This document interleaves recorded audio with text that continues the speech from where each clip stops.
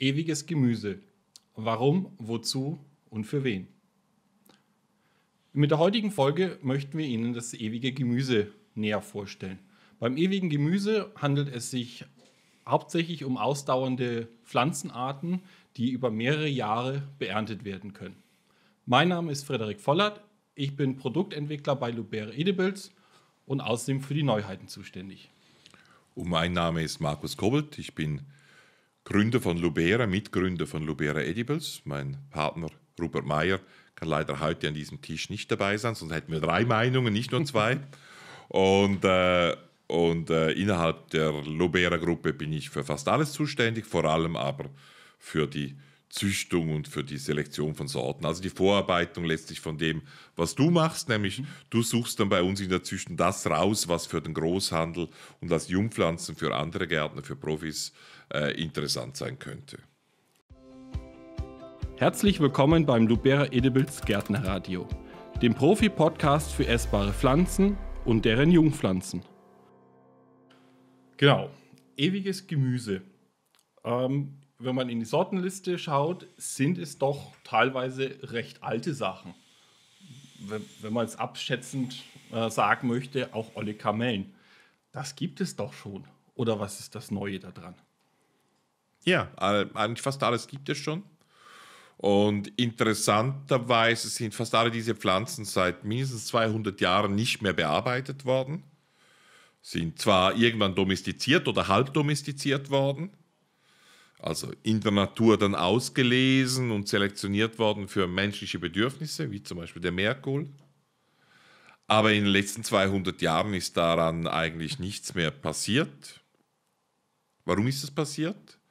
Weil sich beim Gemüse, beim Salat äh, die jährlich anzubauenden Arten durchgesetzt haben, die einfach einen Kulturzyklus von einer Vegetationsperiode oder noch weniger haben, weil das einfach für eine industrielle Agronomie viel, viel interessanter ist als diese mehrjährigen Pflanzen. Einfacher zu organisieren. Der Boden ist nur ein Jahr oder ein halbes Jahr besetzt. Äh, man hat weniger Probleme mit den Unkräutern. Die Erträge pro Zeiteinheit und Flächeneinheit sind größer, mindestens in dem Zustand. Und man darf nicht vergessen, dass sich im 19. Jahrhundert auch eine Saatindustrie, Saatgutindustrie gebildet hat, die eigentlich nicht daran interessiert war, schon gar nicht daran interessiert war, vegetativ, vermehrbare oder zu vermehrende Pflanzen zu verkaufen, sondern die das einfach handelbare Saatgut verkaufen wollten. Es war einfach einfacher. Saatguttüte zu verkaufen im 19. Jahrhundert war zehnmal einfacher als Pflanzen zu verkaufen. Das hat sich heute mit dem Online-Versand teilweise geändert, aber damals war das so.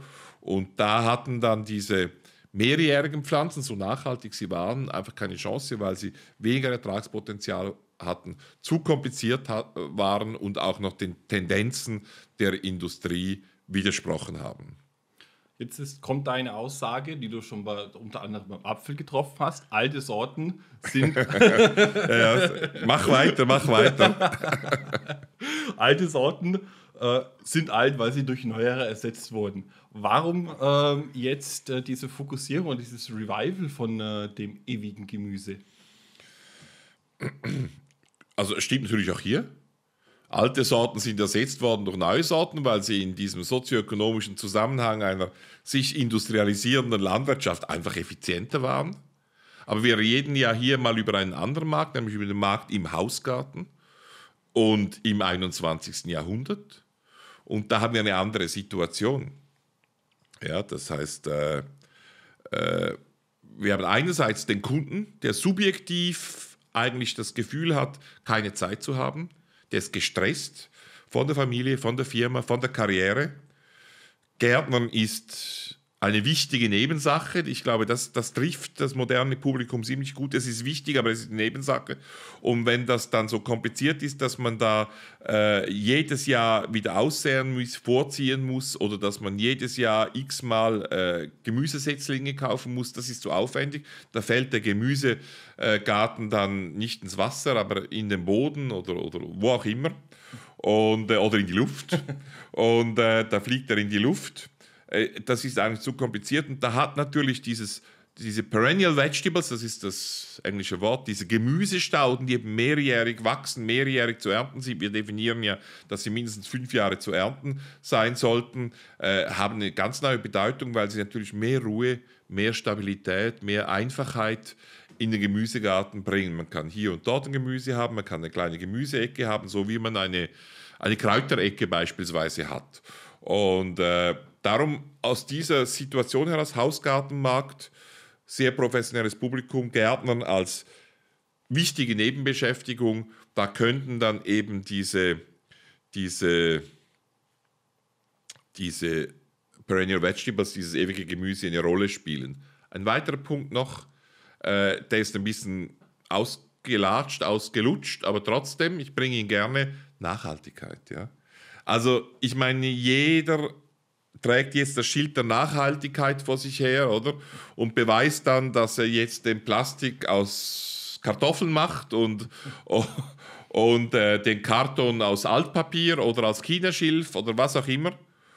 Und, äh, und ich, mehrjährige Gemüsepflanzen sind sicher nachhaltiger, weil sie nicht laufend neu produziert werden müssen, weil sie von der, von der, von der äh, längerfristigen äh, Mineralisierung der Nährstoffe im Boden profitieren, selber durch ihre Blattabfälle auch wieder etwas an den Boden zurückgeben. Ja?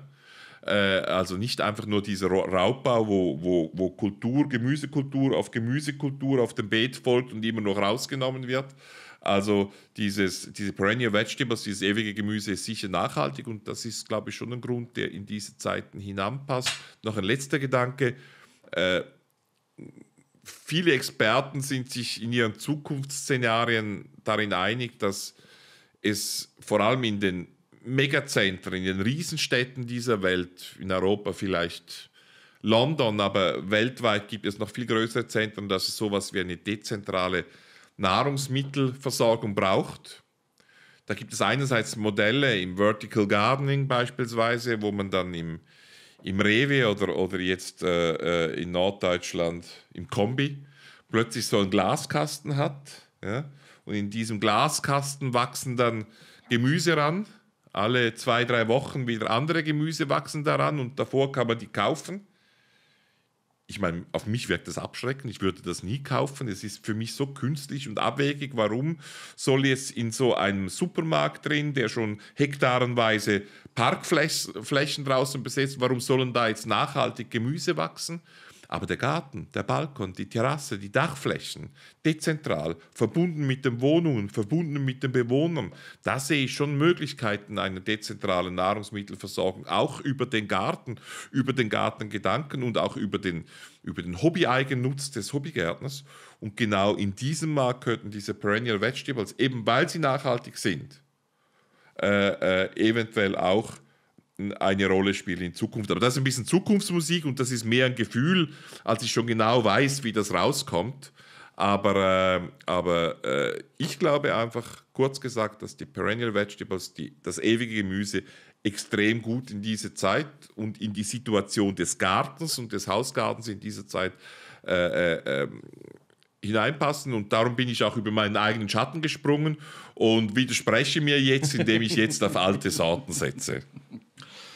Ähm, du hast jetzt einiges äh, schon, erklärt, auch mit Nachhaltigkeit und ähm, ja, Gemüse im Garten, die Hetze rausnehmen. Ähm, manche könnten meinen, das ist jetzt vielleicht ein bisschen ne-, nebulös, aber was sind jetzt die, die konkreten ähm, Verkaufsargumente, um jetzt äh, das zum Beispiel eine Gartencenter oder eine Baumarktkette ähm, sowas jetzt ins Angebot aufnehmen sollte? Gut, man muss vielleicht da zwei Ebenen unterscheiden. Die erste ist so dieses Argument, das habe ich ein bisschen bei dir herausgehört, dass es ja sein könnte, dass jetzt diese neuen, altneuen, äh, äh, ewigen Gemüsearten, ewiges Gemüse übrigens ist als Begriff gewählt worden, übrigens als Marke geschützt für Lubera, der auch mit einem Augenzwinkern daherkommt. Ja, wir wissen, Gemüse wie alles Leben kann nicht ewig sein. Kein Leben ist ewig, aber eben darum wollen wir uns so ein bisschen zum normalen Gemüse, das eben jährig und unterjährig ist, äh, abgrenzen. Und darum glauben wir, ist dieses ewige Gemüse ein sehr schöner Begriff. Also die Frage steht ein bisschen dahinter jetzt, wenn du jetzt konkrete Antworten haben möchtest, ist es, besteht nicht die Gefahr, dass das, dass das ewige Gemüse, das normale Gemüse äh, kannibalisiert auf dem Markt und dann würde es ja keinen Sinn machen, aus Sicht der Produktion äh, da etwas einzuführen. Dagegen kann man sagen, neben der Sicht der Produktion gibt es die Sicht des Konsumenten, die ist eigentlich entscheidend. Ja, und wenn, wenn das halt in seine Lebenshaltung reinpasst, müssen wir es produzieren. Und das Zweite ist, ich glaube nicht, dass wir da wirklich kannibalisieren oder nur zum kleinen Teil kannibalisieren. Ich glaube, dass wir mit, mit, mit dem ewigen Gemüse einen neuen Markt schaffen, ja, den es bisher so nicht gegeben hat. Ich, ich habe schon mal erwähnt, ich, ich sehe da als die, die Kundengruppe, sehe ich die Kunden, auch ein bisschen die jüngeren, 30 bis 50 Jahre, das sind schon bald die jüngeren äh, Gärtner. Äh, und ich sehe da die, für die das Gärtnern eine wichtige Nebensache ist. Es ist eine Nebensache, weil sie haben Familie, ist wichtiger, die haben Beruf, ist wichtiger. Und dann haben sie vielleicht noch ein, zwei Hobbys, gleich wichtig, aber es ist eine wichtige Nebensache und die muss funktionieren, die muss einfach sein. Und wie gesagt, Perennial Vegetables, äh, ewiges Gemüse ist einfach. Also für diese Kundengruppe äh, die kommt jetzt zusätzlich ins Gemüse rein, weil für die wäre das jährliche Einkaufen von Gemüsesetzlingen möglichst noch in verschiedenen Sätzen schlichtweg zu kompliziert. Also ich sehe es bei mir zu Hause, bei uns zu Hause macht meine Frau, mag den Garten, perfekt. Aber eigentlich ist, sind es alles äh, äh, Mixed Borders, die wir zu Hause haben, wo halt alles nach Konzept und ohne Konzept, aber mit sehr, sehr viel Gespür und, und, und äh, zusammengepflanzt wird, auch Gemüse. Und da hat jähriges Gemüse schlichtweg keinen Platz. Dafür hat meine Frau, haben wir keine Zeit, aber für ewiges Gemüse und hier eine Artischocke, dort eine Spargel, hier ein Rhabarber, ja, äh, dafür äh, äh, ist dann die Zeit. Also wir schaffen einen neuen Markt und wir kannibalisieren äh, nicht einen alten. Was, was würdest du jetzt äh, Interessenten, ähm, Produzenten wie Händler raten, wie sollten sie das, diese Produktgruppe ähm, verkaufen oder wie kann das verkauft werden? Wir haben schon einige Erfahrungen, wir machen das jetzt schon ein paar Jahre, einerseits in unserem Direktabsatz über Lubera.com, das ist immer so ein bisschen unser, unser Versuchsgelände, wo wir versuchen Erfahrungen zu machen und dann bei Lubera Edible werten wir diese Erfahrungen aus. Also die, die, die Zahlen sind wachsend, die wachsen äh, ein bisschen schwächer zum Beispiel als Süßkartoffeln, aber in einer ähnlichen Dimension nehmen die zu. Das ist der erste Punkt. Also da, da gibt es eine Nachfrage, die entsteht. Man muss aber die Pflanzen erklären, also man muss das Konzept de, des ewigen Gemüses erklären. Äh, wir werden da auch Etiketten schaffen, die die Marke aufnimmt und verstärkt. Und eben, so dass auf einen Blick klar ist, ah, das ist das Gemüse, wo ich fünf, einmal pflanzen muss und fünf Jahre ernten kann. Das heißt aber auch, man sollte das Sortiment verkaufen. Also eine ewige Gemüsepflanze reicht nicht. Ja, das, das, muss ein Konzept sein, das ist eine Ecke im Garten, das sind mehrere Pflanzen im Garten, äh, die da sind. Und das vierte vielleicht, machen Sie die Pflanzen nicht zu klein. Ja? Äh, ja, es ist so, wir verkaufen nur eine Pflanze alle fünf Jahre sozusagen, nicht eine jedes Jahr. Aber wie können Sie deutlich größer verkaufen? Ja, die, wir machen zum Beispiel Standardgröße 1,3 Liter Container. Es gibt viele Arten, die könnte man gut auch im 3 und 5 Liter Container verkaufen. Auch mit einer Frühjahrskultur, also früh im Frühling äh, äh, getopft und dann irgendwann ab Mai verkauft. Das ist möglich. Und entsprechend wird das Produkt auch werthaltiger. Und man bekommt auch einen vernünftigen, guten Preis dafür, so dass es umsatzmäßig äh, mit einer normalen Gemüsekultur durchaus vergleichbar ist. Also Sortiment, glaube ich, ist wichtig. Erklären ist wichtig oder halt auf die entsprechenden äh, Etiketten oder äh, Erklärvideos auch zurückgreifen. Und drittens immer ein, ein äh, äh was habe ich gesagt, immer ein Sortiment verkaufen. Was war der letzte Punkt noch? Den habe ich jetzt vergessen. Große Pflanzen. Große Pflanzen. Große Pflanzen genau so ist es. ja. Jetzt bist du ja Züchter durch und durch. Du hast vor über 25 Jahren mit Apfelzüchtungen angefangen. Jetzt reden wir hier von Ollenkamellen, von alten Gemüsepflanzen. Ähm, du hast auch in den letzten äh, Jahren, auch letztes Jahr, ähm, durch ungewöhnliche Züchtungsprojekte immer wieder von dir reden gemacht. Ähm, wirst du auch bald noch anfangen, ewiges Gemüse zu züchten, weiter zu züchten? Ja, ich meine, ök ökonomische Gesetze gelten auch in der Züchtung. und wir dürfen es auch nicht übertreiben. Aber wir haben natürlich schon ewiges Gemüse gezüchtet. Wir haben ein relativ großes Rhabarberzüchtungsprogramm, was wir ins ewige Gemüse zählen. Da machen wir auch so ein bisschen Erfahrung, wie man das machen muss. Wir haben auch gesehen, dass wenn man so eine alte Kultur nimmt, wo nicht mehr allzu viel gemacht wird, dass man sehr schnell auch ganz neue Dinge findet. Zum Beispiel bei den Rhabarbern, Rhabarber, die eben auch sehr schöne Blüten haben. Oder Rhabarber, die extrem kompakt wachsen. Ja? Äh, äh, also ganz neue Typen findet, die einem vorher eigentlich nicht aufgefallen sind. Also da gibt es überall Potenzial. Äh, wir werden sicher in den nächsten Jahren das Portfolio an ewigen Gemüse ein bisschen genauer anschauen und schauen, wo noch züchtig was zu machen wäre oder ob es Typen von Gemüse gäbe, wo es wo wir keine guten Perennial Vegetables, keine guten ewige Gemüsearten finden und wo wir vielleicht züchterisch welche produzieren könnten. Ich fantasiere jetzt mal.